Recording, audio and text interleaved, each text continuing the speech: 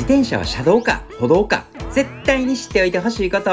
自転車安全利用5則の1つ目に自転車は車道が原則左側を通行歩道は例外歩行者を優先とあります。自転車は車両の仲間なので基本的には車道の左側を走りますが例外的に歩道を走ることができます。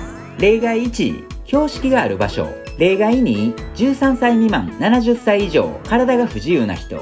例外3道路工事や連続した駐車車両があるときはい、ということですが、ここでコメントされがちなマイルールを紹介します。車道を走るのが怖い。これはすぐに慣れます。凸凹が少ないので実は車道の方が走りやすいです。車に幅寄せされる。車のドライバーの方、危ないのでやめてください。自転車も幅が狭い場所でのすり抜けは危険なのでやめてください。などなど、いろんなマイルールを考えて歩道を走ろうとする人、車道走行よりも歩道走行の方が事故が多いので気をつけて。参考にしてね